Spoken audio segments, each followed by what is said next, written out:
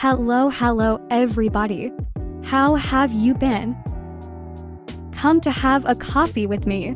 I invited my friend, Mitchell, to know this beautiful and flowered place. I said coffee, haha, I end up with an amazing ice cream, haha. Do you want to try it? Oh my god, I really recommend it's delicious. Exciting sugar whoosh, yay. Hi!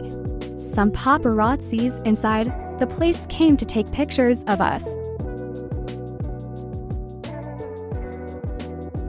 This cafe place calls Dirty Cocoa. We found while we were taking a walking. It's here in Stockholm city center. In this beautiful city, my flavor was chocolate and pistachio, both gluten-free. They also have fika, brunch, desserts, and many kind of cafe. I love to talk with my friend, Mitchell. She is so nice, smart and fun. I'm lucky with my friends.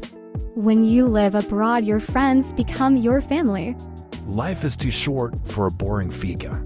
Yeah, I agree. Life is too short for a boring life. I love art and art decoration. Look this English phone cabin with flowers. Look at these chairs with decorative bows shape. Look at the shape of these hanging lamps. The matching scale of colors with the flowers. Beautiful. Do you like the decoration here? Let me know in the comments. Yummy. Talking about art and design, do you like cartoons? My yellow shirt that I'm wearing now is about a classic cartoon called Tom and Jerry. Did you watch Tom and Jerry when you were kid? I loved it.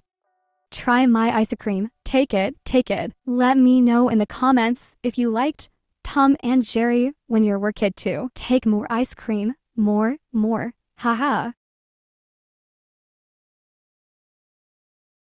Ha ha ha. So, it was good talk to you. That's all folks. See you later alligator. Bye bye. Thank you for watching.